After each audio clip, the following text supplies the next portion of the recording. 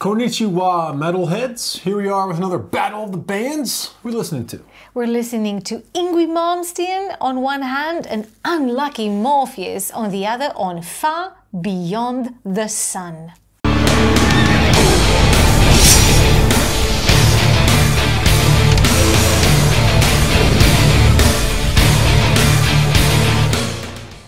Far beyond the sun, which is here on Earth, where we are.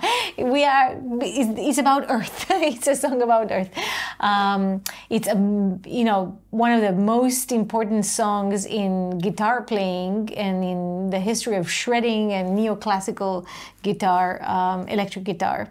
Um, and was created by none other than Yngwie Malmsteen who is or Malmsteen I don't know how you pronounce it in English. He's basically made his fortunes outside Sweden but he's Swedish um, and in um, in 1984, way back in the history of, of metal, he uh, recorded a wonderful album called Rising Fire. Um, among others, on keyboards on this album was Jens Johansson, who later became a member of Stratovarius. But anyway, at the time, uh, Yngwie recorded an album that basically had two songs defining the genre of instrumental guitar uh, music shredding uh, as a as a guitar picking style and one is black sun and the other one is far beyond the sun mm-hmm. from the same album of 1984 and there these songs are just I think in an interview, Yngwie said that he will play these songs until the day he dies because they are the songs that simply define his music. Um, and I will just say one more thing before we actually go to listen to. There are two two important things, maybe.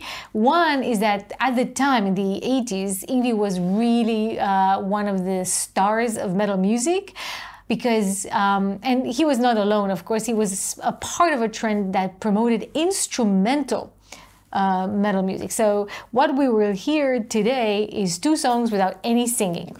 Um, so that's kind of unusual for today. I don't think people do this any longer. But at the time, it was something that defined um, defined the genre. Like you can think of Satriani and some some other guitar giants who made their name by just playing guitar songs.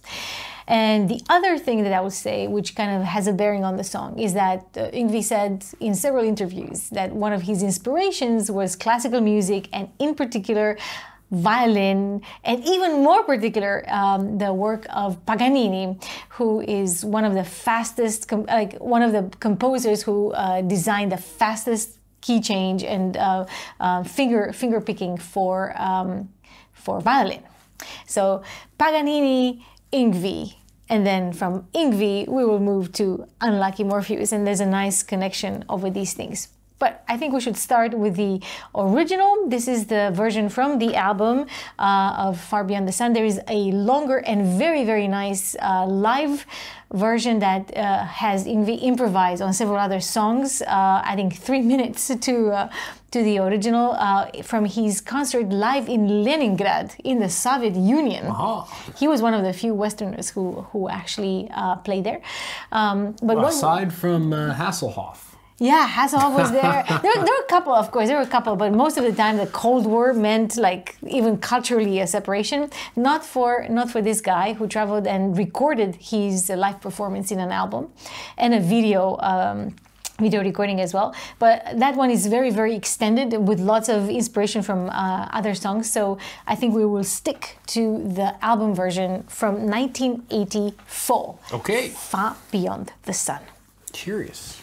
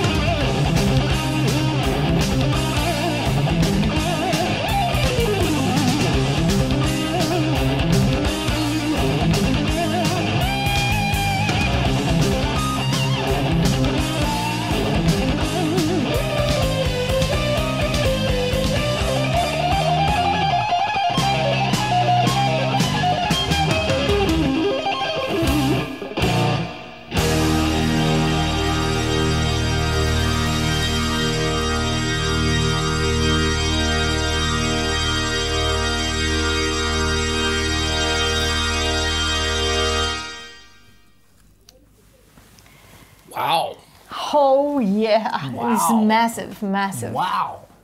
Wow. Wow. Okay, how many times can you say that, right? Yeah, I think. Uh, okay, so I know there's a violin coming, and Yes. I love violins, but I mean, on, on the low side, that's a nine and a half, Yeah. maybe a ten. So I don't, I don't know if anything can beat that. Really, It's hard. It's hard. Did you hear, or I don't know, because I, I listened obviously to, to several several times just recently to this. Did you hear the duel or the the interplay between the, the keys and the and the guitar? I don't know what I heard. It was was, just like- awesome. it was like I awesome. lost in it. Yes, it's fantastic. It's one of my favorite songs, uh, really. Um, and uh, from from you know the child child uh, uh, contact contact with this because he's so old, right? So I could listen heard to it. No, it's No. really good. Um, That was awesome.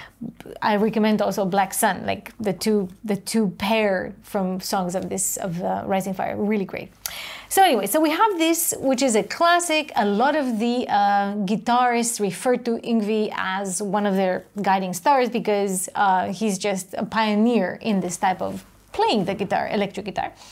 Um, and in Japan, this has been the case because, as we discussed in several of our Japanese related metal episodes, the musicians in Japan who play metal have a classical training. So they have uh, basically been growing up kind of in the same culture as Yngwie, and so they relate to his uh, to his style and his music style uh, or his guitar playing style also influenced a lot of the Japanese shredders, including Sue from Shoo, uh, I was gonna say. yeah, from Galneryus. oh, he, he uh, Syu says clearly in, in several interviews that growing up, he referred to Yngwie's picking style and so on. So no, no surprise there. Maybe which that which will be more surprising is to hear this song converted or interpreted for violin. Uh, and this is kind of a, it's a very meta level, right? Because we have Yngwie's inspiration is the violin concertos by, by Paganini with a bit of uh, Bach in, involved, and then kind of we're going back to the violin who interprets the guitar who interprets the violin so it's very um, you know second layer there uh, we're gonna hear Unlucky Morpheus uh, without their two founding members. So um, we will have Jill on violin taking the taking the front seat in this version, and Jinya on guitar uh, being her dueling companion. So pay attention to this dialogue between violin and electric guitar because maybe that is the spice that can make this song be a valiant Go above cover. a ten. well, we'll see. It's hard. It's hard to beat. But this is also very new. Uh, it's from an upcoming Unlucky Morpheus release, uh, and this song just came out in 2021. All right. So, Curious. far beyond Times the two. sun, um, and Unlucky Morpheus with Jill. Hit it.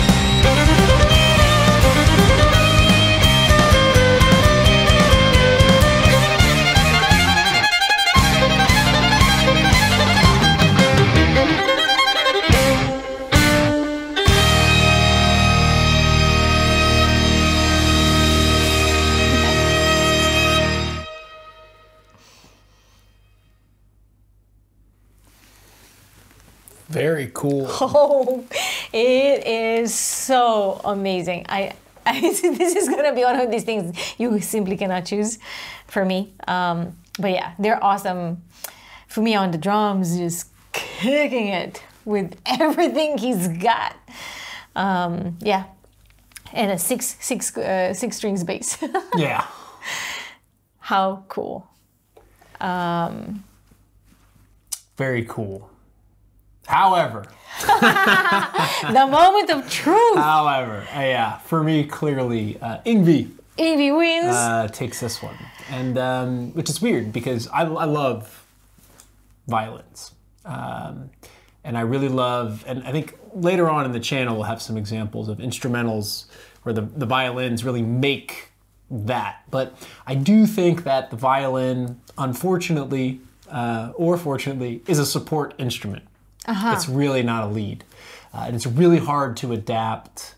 Um, I think you said that it's the the Yngwie version was an adaptation from a violin yeah. version, but uh, it's so much easier for a guitar to lead, and that's why I think that the for me the Yngwie version was uh, for me was Yeah. better. I thought the Unlucky Morpheus version was an awesome adaptation of that guitar version, but the violin just cannot hang with the guitar as a lead instrument. I think. for the metal part. Yeah, I think the best, and I, I've, I have a few examples uh, in metal where uh, the violin really kills it, but it's because it comes through at a certain part in the solo and really shines for a couple seconds and then goes back into support. Uh, so that's what I would say. What about you? This is really very, very difficult. I've been thinking about this obviously since I knew the songs from before, so I've been debating with myself, what am I going to say? What am I going to choose? And I simply cannot cannot choose because this is one of my favorite songs too. So it's very hard to choose. Normally, there would be no doubt that I would go with Yngwie because I know the song inside out. Like I can I memorize it basically. But of any other versions that I've ever heard, this is the best. Like if, if Yngwie is 9.5, like of a 10 absolute that doesn't exist, uh, this is like a 9.3. Um, So, but I think Yngwie still wins for me, still wins for me, but by a by a hair, by a hair. I really, really enjoyed the dialogue between the violin and the guitar around minute three. I think it was just like, Pwah! they basically tease each other. In um, I love, I love the drums. They're much more powerful. And violin, the Jill's violin is very soft and warm and kind of heavy. Like they, they really made the best out of the best violin for metal is this. yeah. And I would say, as a, In as this a- leading role. as a huge violin fan, uh, I would like, I hope that videos like this get more um, violins into metal. Yeah, I would love to Because, see that. I would love to see that. And honestly, I think Jill is the amazing. She's just like mind blowing. Um, I, I think you already know that she's been playing since she was a small child. I think at three, she already could play the violin so that she could, you know, demonstrate that. And she even is a Paganini um, specialist. So this is totally her home territory. I actually was curious if any of you guys know in the comments which violin she plays. Like, uh, what type of violin is it that um, she's using in this in this video? Maybe she said in some interviews or so. So if you do know, I would be very curious to find out. But yeah, it was really very tough. And for me, it's partly because of habit, partly because I know that original so well, like in other songs that we've played that I knew from before. Uh, but if I only heard this, if this was my first choice, this would have been, again, up there close to a perfection. Yeah, good battle. Good battle. So uh, yeah, obviously this was a really tough one. Let us know in the comments if you feel that one or the other is a clear winner, or if you're also muddying through, like, like us here. And um, yes, um, I'm looking forward to the new release from Unlucky Morpheus coming later this this year. Absolutely. In the meantime, May your sword stay sharp. and your quests end in glory.